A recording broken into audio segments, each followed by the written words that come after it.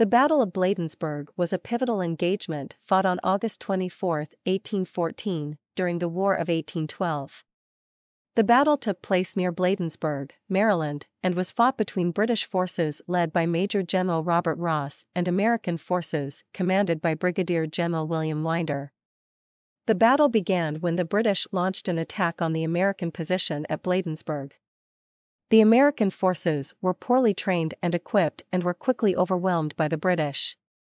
The American militia fled the field in disarray, and the British were able to advance towards Washington, D.C. The Battle of Bladensburg is notable for its impact on the War of 1812.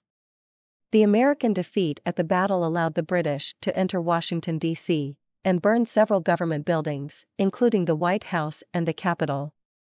The defeat also highlighted the need for better organization and training of the American military, which led to reforms in the United States military.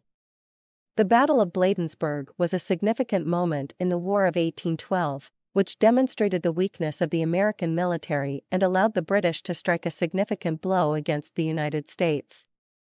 The battle also had a lasting impact on American military strategy and led to significant reforms in the United States military.